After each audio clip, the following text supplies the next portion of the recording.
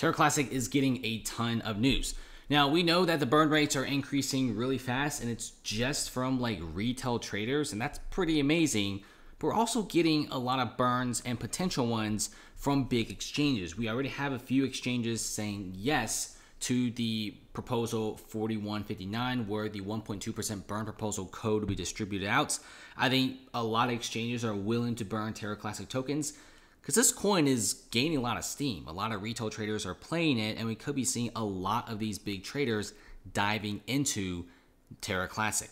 Now, if you look around, we're seeing pretty massive burns, and it seems very transparent that Terra Classic is getting a lot of love from the community. Seems like, you know, 550 million Luna Classic tokens are burned in the first week. This is the highest I've ever seen and it's very rare that we see Luna Classic tokens being burned in such a high amount. There was a period of time, like a month ago, where not a lot of coins are being burned, but recently a ton of tokens are being burned on the daily.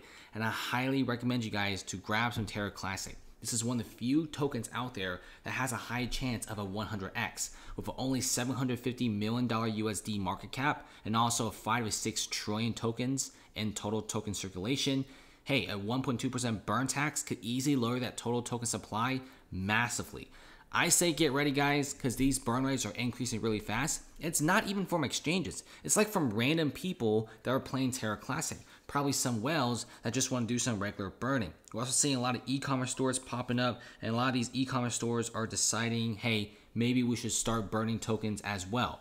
And they're getting like a lot of traffic from Terra Classic investors and watchers. We're also seeing big exchanges willing to add in the 1.2% burn rate, with even CZ Binance hinting that there's a small chance that Binance, the world's biggest crypto exchange, may be accepting the 1.2% burn rate as well. So get ready.